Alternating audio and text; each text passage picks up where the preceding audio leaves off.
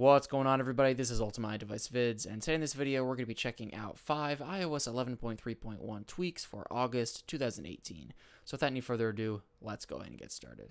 So first up, we have Avertis. This tweak allows you to easily switch between applications, close out of applications, and lock your device through very easy and fast gestures. So to switch between applications with this tweak, you slide up from the bottom left part of your screen like this, and you get this pop-up just like this. It'll show you all the recent applications that you opened on your device, and you can just go ahead and release your finger on any of these, and it'll quickly take you to that app just like that. And again, this allows you to very, you know, rapidly switch between applications. So and it'll just speed up that process for you as you can see just like this. Now if you go ahead and slide up from the other side of the bottom, the right side, it'll go ahead and close whichever application you're in and bring you to the home screen just like this. So uh, just a fast way to exit applications as you can see. Now once you are on the home screen, you could swipe up again from the right side to lock your device just like that. So, uh, so some very useful options here. So if you guys jump over to settings, you could go into Avertis, and in here there's various different options. So we have the toggles for the quick switcher and the hot corner. So of course quick switcher is the ability to switch switch between all the applications here, and hot corners is the ability to close applications and lock your device through the other side. And you can enable or disable those two features here. There's also some different options down here. So I want to point out the uh, set opacity in the quick switcher slider here. So basically, if you want to see the app previews when you're using the quick switcher, you could go ahead and turn this up. And uh, basically, because it's in the middle now, the cards are going to be transparent, as you can see right there, and you'll actually be able to see those applications when you're using the quick switcher.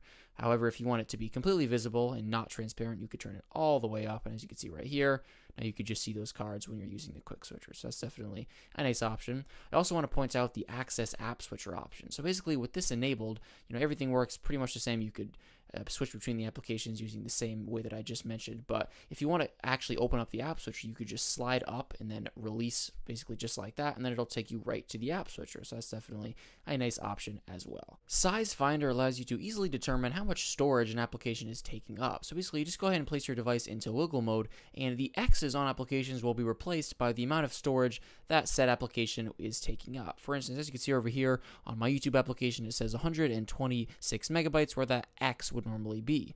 And you know, for Spotify, it says 92 megabytes, etc. So it just allows you to easily determine that. Now, that no functionality is lost here. You can still go ahead and tap on that button, and it will allow you to delete the application just like that. So you know, it just add some functionality to an area in iOS that normally doesn't have functionality. So you can easily check how much storage apps are taking up.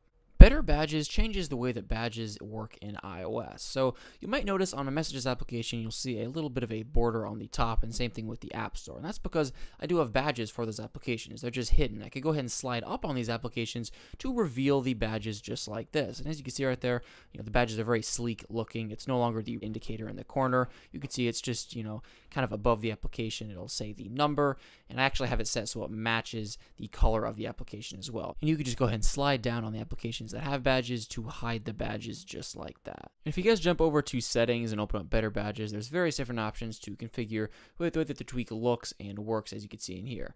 And some, some options that I want to point out are first of all the match app color, which I do have on, which again will match the badges to the color of the app. I'm just going to turn that off to show you guys what it looks like without that on. I also want to point out the always show option. Now, that's off right now. However, if I turn it on, basically it's going to automatically show those badges so I no longer have to actually swipe up to show them them. So if you, you know, just want to automatically see those badges without having to swipe up to reveal them, you could go ahead and toggle that on. So I'm just going to go ahead and respring now to apply the changes that I made.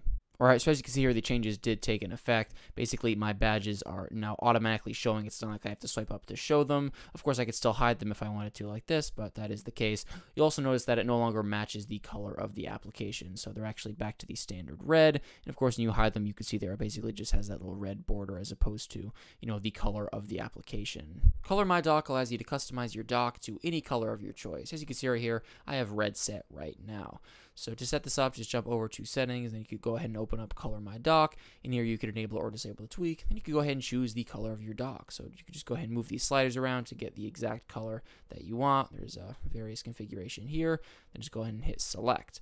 Now there's also an option to get the dock color from your current wallpaper if you want to do that. Base it off of that. But I'm just going to go ahead and hit apply changes and then respring. And then of course your color will apply. I just changed mine to green as you can see. Square code allows you to customize the passcode entering interface. So if I go to my lock screen here, you could see the passcode interface does look different. So you could see a few different changes that I made here. The shape of the buttons is now square as opposed to circle, as you can see. The color, I made it a purplish kind of tint just like this. And you can see there the text that normally says enter passcode says Ultimate iDevice Vids. So to set this tweak up, you jump over to settings, then you can open up Square code and you have various different options to configure in here. You have the pad button options here, you can enable or disable. Then you have the button corner radius, basically basically the shape. The, the lower the number is, the more it's going to be like a square, and the higher the number is, the more it's going to be circular. The custom color, you could customize that here as well. Then you also have this pad option down here. If you enable this, it'll basically create a pad around where your passcode buttons are. That again, you could also customize the corner radius for that, and you could have it be a certain color. So I'm just going to make it orange right now. And you, of course, you could also change the lock screen text, which I put as Ultimate iDevice Vid. So uh, I'll show you what this pad looks like. I'm just going to go ahead and respring to apply the change. And as you guys can see right here, we have this, again, pad around there if you want to have that. You know, again, it'll show up in, in the color that you choose. And it just kind of refreshes the way that things look. Alright guys, that pretty much wraps it up for this video. I hope you guys enjoyed it. Thank you guys so much for watching, and I'll catch you in the next one. Peace out.